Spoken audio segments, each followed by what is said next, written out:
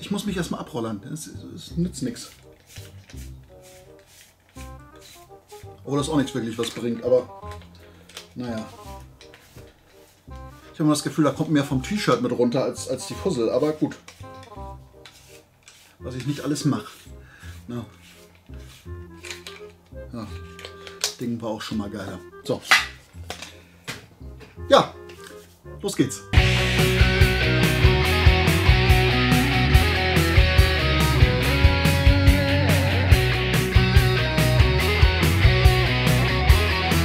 Hallo liebe Leute und herzlich willkommen. Es ist endlich mal wieder Masters of the Universe Zeit bei mir, denn ich habe für euch den Slushhead aus der Masterverse Reihe. Und zwar ist das eine Figur zu den New Adventures of He-Man. Das ist eine Serie, die ich mir tatsächlich gar nicht angeguckt habe und wo ich auch überhaupt gar keine Ahnung von habe. Aber diese Figur sieht halt einfach absolut fantastisch aus und ich wollte die unbedingt haben und tatsächlich hat der liebe Frank mir diese Figur zum Geburtstag geschenkt vor einer Weile. Vielen Dank Frank nochmal. Ja, und dadurch kann ich euch diese Figur als Review zeigen. Ich rede gar nicht lange, das mit der Verpackung wisst ihr. Wir gucken kurz einmal auf die Rückseite fürs Artwork. Ja, schön. Geiles Cross-Hell übrigens. Sehr, sehr coole Wave. Hier dann auch nochmal das Artwork auf der Seite. Und jetzt kann es auch schon losgehen. Ich packe ihn aus.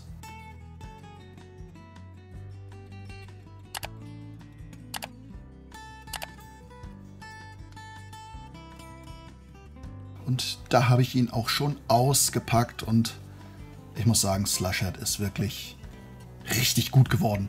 Ja, schaut euch das an. Hier der Kopf mit dem bösen Blick unter dieser Taucherglocke. Das sieht auf jeden Fall sehr geil aus. Dann die Rüstung mit diesem Metallic-Look. Das weiß mir auch gut zu gefallen. Die Farbkombi ist schön mit dem Rot, mit dem Silber und diesem Türkisblau. Ja, dann diese Rüstungsteile an den Armen gefallen mir auch sehr, sehr gut. Und was ich halt richtig toll finde, ist, ja, seine Haut.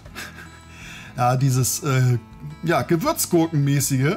Ich finde, das sieht einfach richtig klasse aus. Das haben sie total gut hingekriegt. Auch von hinten kann er sich absolut sehen lassen. Die Rüstung sieht super aus. Hier seht ihr, wie sie am Körper befestigt ist. Ja, und auch die Stiefel und Füßchen sind sehr cool. Es sind halt die Monsterfüße, die kennen wir unter anderem von Skeletor. Und die, äh, ja, diese Stulpen, die sind neu. Die haben wir so in der Form noch nicht gesehen. Aber auch die sind schön metallisch. Also die Figur kommt insgesamt richtig gut rüber. Wenn wir uns mal die Beweglichkeit anschauen, ja, dann stellen wir fest, dass wir natürlich beim Kopf nichts machen können. Also technisch gesehen ist der Kopf natürlich voll beweglich. Würden wir ihm jetzt die Rüstung abnehmen und diese Taucherglocke, ich traue mich nicht, die einfach so abzuziehen. Ich weiß nicht, ob sie mit der Rüstung verbunden ist, dann könnten wir natürlich den Kopf in alle Richtungen bewegen. Das ist ganz klar. Ja, ansonsten haben wir das Übliche. Ja, Arme nach oben, Arme nach vorne, Arme nach hinten. Hier oben eine, eine Drehung im, im, Bizeps, dann das doppelte Ellenbogengelenk, das immer ein bisschen komisch aussieht bei diesen Figuren. Dann natürlich die Hände kippen und drehen. Das ist gar kein Problem. Dann haben wir natürlich die Brustkorbartikulation. Die kannst du hier aber eigentlich wirklich gar nicht nutzen, weil die Rüstung hindert das sehr. Äh, die Hüftartikulation ist auch da, aber die ist hier auch irgendwie sehr schwergängig bei meinem. Will ich jetzt gar nicht dran rumbrechen, aber technisch gesehen ist sie da. Ihr seht den Cut, ja. Ja, und dann können wir natürlich die Beine spreizen. Wir können die Beine wie immer nicht weit nach hinten machen, können die Beine so weit nach vorne machen. Wir haben hier oben einen Cut drin. Oh, das hat geknackt.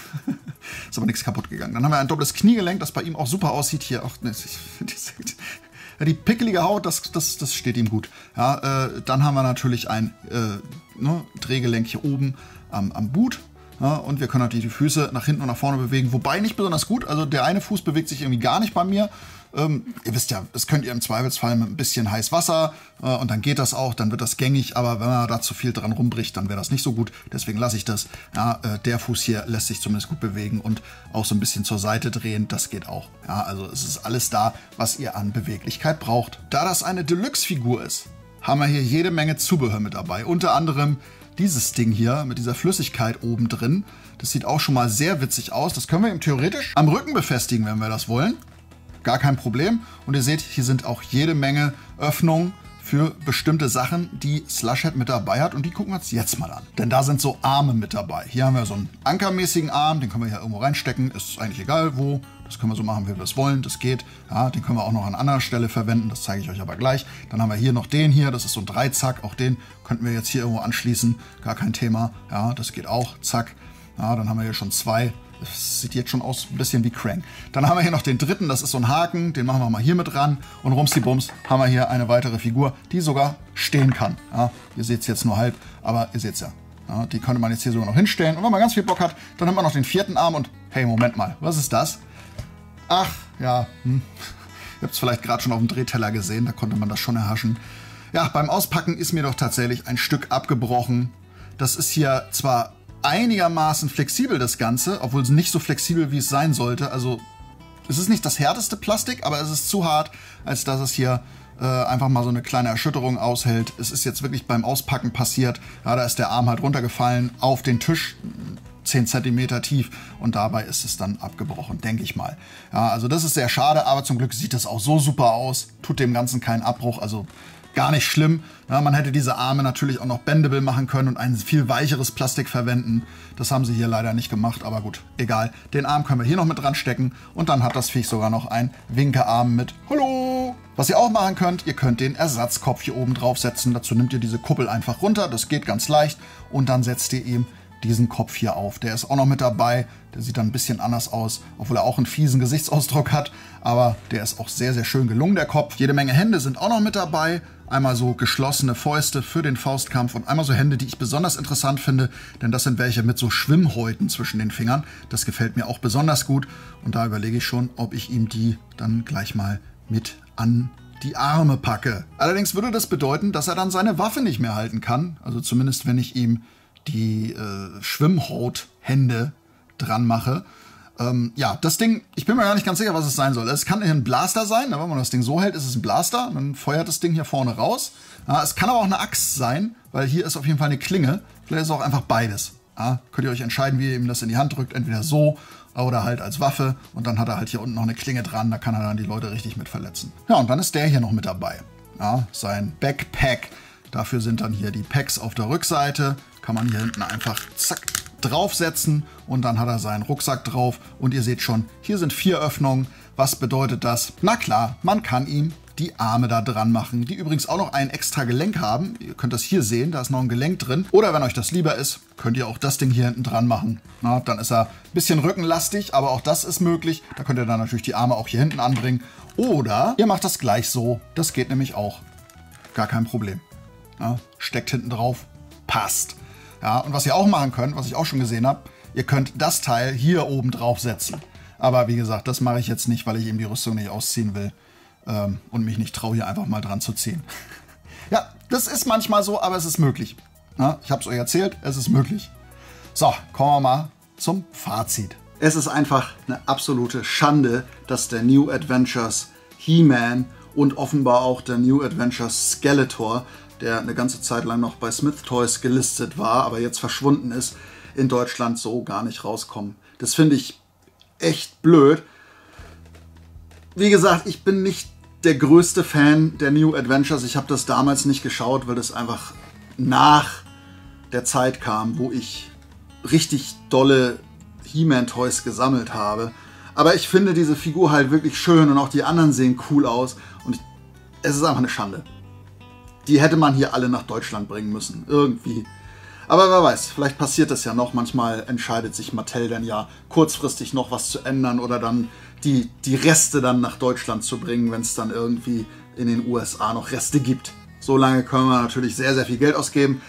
Umso erstaunlicher ist es, dass der Slushhead rausgekommen ist. Die Hauptcharaktere nicht, aber der Slushhead.